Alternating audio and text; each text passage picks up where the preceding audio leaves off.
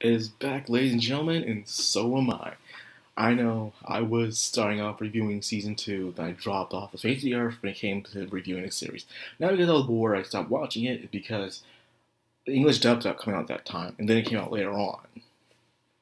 And then I decided to, you know, not review it, and some people were upset about it because apparently I was one of the very few people on YouTube who's actually reviewing the series. So I'm like, you know what? Even if the dub stopped being simulcast, I'm still gonna review it. I'll just have to try to remember these names when watching and stuff. Because, you know, there's just so many names in this series, and it's hard to remember, especially they're focusing on different characters in one episode.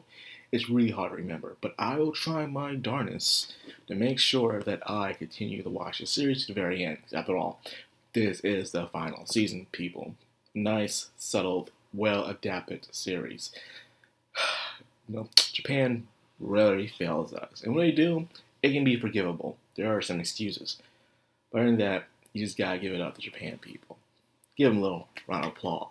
Without further ado, let's get into the review of Fruits Basket's final episode one. So, yes, I've been watching the last season where Hatori reveals two truths, shocking revelations. One is when he hugged Toru at the park. Her, showing that he is free from the curse. You know how it happened? He just know he just felt free to the point where he can't even turn into a bird when he does trans when he hugs the opposite sex outside the family. So you know he broke the curse. It is shown you can break the curse.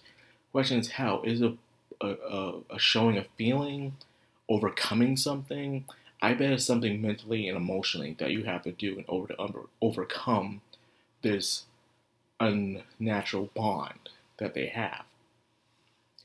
Now, the next one is that Akito, the representation of God of the Soma clan, is actually a female. Yeah. Well, this is for more anime only people who were shocked to see that, yes, Akito is a female raised as a boy. A lot of places, they don't like having a female head of the family. So that's why they do their best so you have the female head have to pretty much be less feminine and do everything like a boy. That's just how it is in a lot of Eastern cultures. You know, they don't feel like women having the actual absolute power in most places. Then, as he continued to talk, we see further and further of the original promise. You know, the original promise where God, you have another banquet and another banquet, will they always be together? It sounds nice when people say, we'll always be together forever, and and, and they have lived the, the forever thing you know, the forever thing is not always a good thing. Because sometimes people change, they fall out of love, all that stuff, to the point where, hey, I don't be around you anymore. If it's the same people, probably might be a good thing.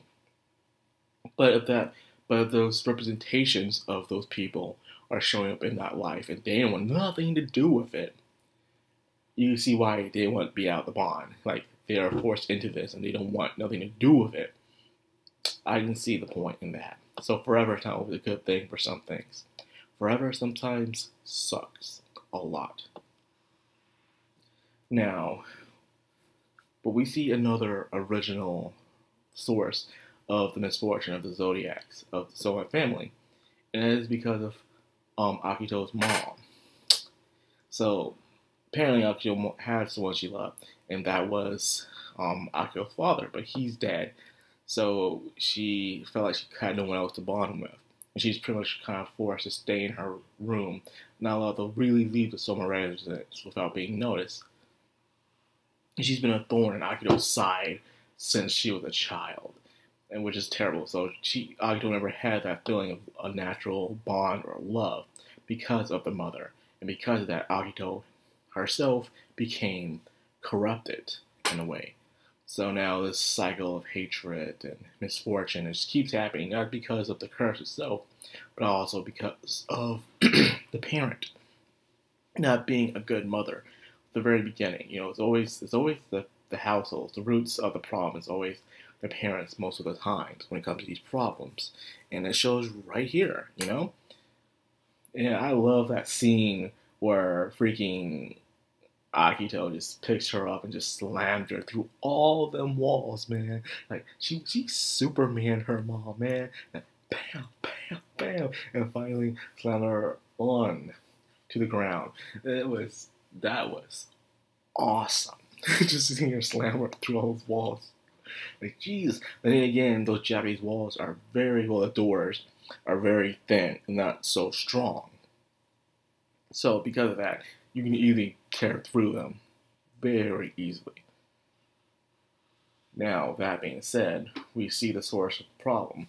So, even though um, if Hatori even does want to leave, he can't because he doesn't leave that broken child behind. It even said that the original four who were at a certain age started to cry when they woke up, crying, not knowing why and realizing the day Akito was born. Well, not born, but inside of the belly of Ren. You know, it was this mystical ritual thing, this tradition where they woke up and he like, they're here, our God is here. So they were just happy to see them, you know, they welcomed her without realizing the misfortune that would someday be cast upon them. With that being said, we all know Sugar Ray, like I said in the first season, Sugar Ray is one of the main key players. One of my personal favorites, after all. How she was saying, he was saying how he's using Toru as the key to lift the curse on the Soma family. But he's putting her through trials, seeing whether or not she can do it or not. And I guess he knew he placed that there on purpose, knowing that she'll someday reveal the truth of what happened and see how she can take it. Will she overcome it or not? So this was pretty much Toru, Toru's final trial, you could say. This was her final trial, made by Shigure. Everything about uh, him is all secret. But of course, Toru was in shambles until one of my other favorite characters, Hanajima, shows up.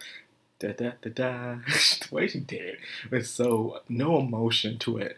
Like they do the superhero thing, they go da da da, you know, she she just did no emotion at all. Like, hey, I'm here save day. And she took Toru in, you know. And Toru had to find that resolve, especially for um, um Kuro-chan, um, who wanted to see um Hatori, but couldn't. Now she understands why what's going on, and she feels that she's she she falls in love with idiots. It's the reason why she likes Toru or she likes Hatori. She sees them both very similar like, okay, that makes a lot of sense. She's the type of who likes that because they they ease her in a way, you know, they ease her compared to her complicated life that she had. So that's understandable.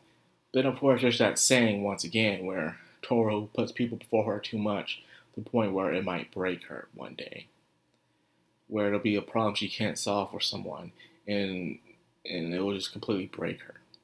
Even if she does help solve that problem what she sees. So she does need to learn to take some time out for herself and see what could happen. Now, the last thing I guess I want to talk about, it's um, damn, like the horse girl. Almost reading her name too, Uzaki. I think it was Uzaki. Izumi, Izumi Izaki. I can't remember her name. The horse girl. She found she heard she heard everything else going on, and now she has some sort of hope now. Like she found out, okay, there's a way to break this curse. This is something. She's the first lead she's ever gotten the entire time. Even though she asked Sugar Ray, knew the entire time, but he didn't know how either. He just knew that yeah, there's a way to break it. He just don't know how. But now she heard what happened. She can at least find something. This is a grasp of hope for her. But however, that hope that becomes to total despair. She because she ran into Ren. It seems like Ren's about to pull some moves as well. See what she's going to use for that girl. And I think it's going to be pretty good. I think it's going to end badly. Very badly. Well, anyways, that's going. That's about it, man. I don't remember much. Believe it or not, I don't remember much going on towards the end of the series than I do the beginning, which is weird. You probably try to remember more of the, the ends, the last parts. But no, I remember more of the first half of Fruits Basket than I do the last half. Only the very end of Fruits Basket I truly remember, but between that, not so much. So even though I read before years ago, back in middle school, it's it's all blurred to me. I remember bits and pieces, but that is it. Of course, there's also Fruits Basket, another which I need to give a read and see how that's like. But that's a story for another day. So anyways, that's like after this video. I hope you guys enjoyed, and I hope you guys are glad I'm reviewing Fruits Basket again. If you are, like, comment, subscribe, and of course, hit that bell icon. So after Macron, I'm Anime, signing out.